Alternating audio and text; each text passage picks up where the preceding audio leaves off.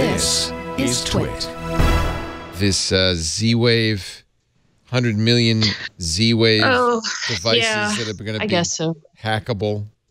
If we're all freaked out about it, just calm, calm down, folks. Calm the F down. Um, so what this, what this is, it's it's a rehash of a hack that was in 2013 and I think again in 2016. We all discussed this and we're like, ah. So in April of 2017, the Z-Wave Alliance introduced a new concept called S2 security.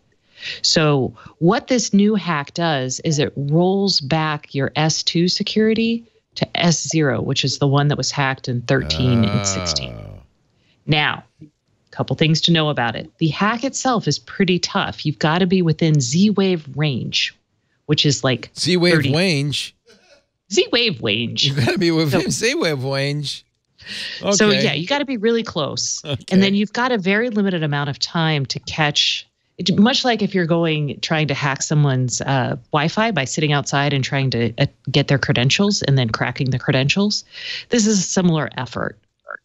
So you've got to be close. You've got to catch a. Uh, it's not exactly a handoff, but you've got to catch that. Then you can, in a secure S2 device, roll it back to S0 and try to hack it. But if you have S2 security on a device, it will actually notify the users when it- that security gets rolled back to S0. So, the one thing that you might want to worry about, again, if you have someone who's really technically savvy trying to hack your particular door locks, is that not a lot of devices out on the market actually use S2 security yet. Oh. August locks do, but not like a lot of smart home hubs don't. There's about 15 of them with S2, but some of the big ones like Wink and SmartThings don't yet. So that's kind of all you should really know about that. I have a lot of Z Wave stuff. I'll just tell you, I'm not really worried. If you want to come in and break in my door locks, you're so it's going to be so much easier just to break a window than to Right. hack my. Right. Right.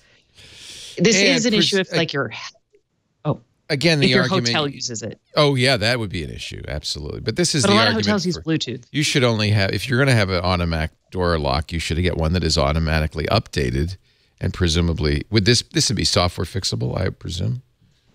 Mm, this particular thing, I don't think it's software fixable. It's a Oh. fundamental. It is a fundamental flaw in Z-Wave, and yes, the Z-Wave Alliance does say that this was a conscious decision that they made that this should be allowed. I imagine it has to do with backwards compatibility because they're really sticklers about that. But and again, S0 is the same. To hack at the S0 level, you have to be in physical proximity to the device.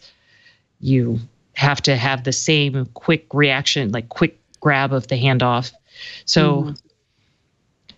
again, there's a lot of easier ways from an individual level. If it's at a corporate or like a hotel, like a, a larger target, maybe it makes sense. So, but an individual, I wouldn't stress it. Thank you for the clarification. Steve Gibson agrees with you. We talked about it yesterday as well.